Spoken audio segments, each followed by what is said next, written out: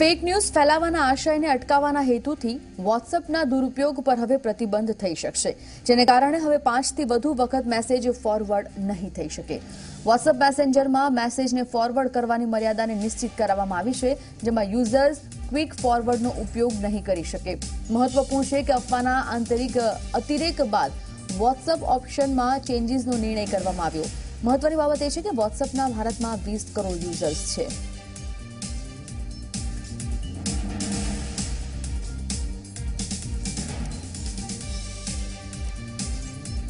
તો fake news ફેલાવાના આશયને અટકાવવાના હેતુથી વોટ્સઅપના દુરુપયોગ પર હવે પ્રતિબંધ થઈ શકશે.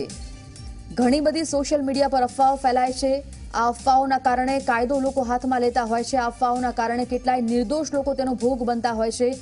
પબ્લિક એવા કેટલાય લોકોને પોતાના રોષનો ભોગ બનાવતી હોય છે. આ તમામ અફવાઓના કારણે જે ક્રાઇમ રેટ વધી રહ્યો છે, તેને અટકાવવા માટે હવે ચેન્જીસ કરવામાં આવશે. દુરુપયોગ પર હવે પ્રતિબંધ થશે વોટ્સઅપના જેને કારણે હવે પાંચથી વધુ વખત મેસેજ ફોરવર્ડ નહીં થઈ શકે.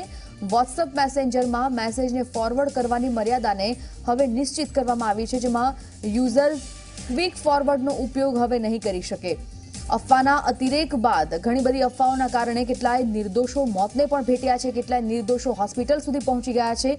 ત્યારે લોકોના ટોળા જે નિર્દોષો પર તૂટી પડે છે, જાણી બુઝ્યા વગર તે તમામ અફવાઓના કારણે થતું હોય છે અને એના કારણે જ આ અતિરેક બાદ વોટ્સઅપ ઓપ્શનમાં ચેન્જીસનો નિર્ણય લેવામાં આવ્યો છે.